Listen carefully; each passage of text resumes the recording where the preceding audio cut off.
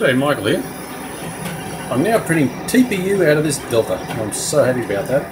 I've eliminated the need for you know, bed level sensing. I've basically changed the arrangement that the bed's mounted on to be three screws. This is my big cricket.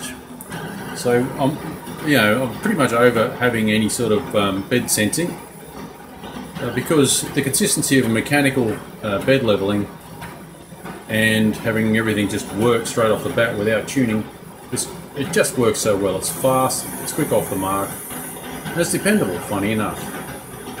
Um, yeah, so how do I achieve that? I borrowed a leaf out of what I saw the Tevo Little Monster.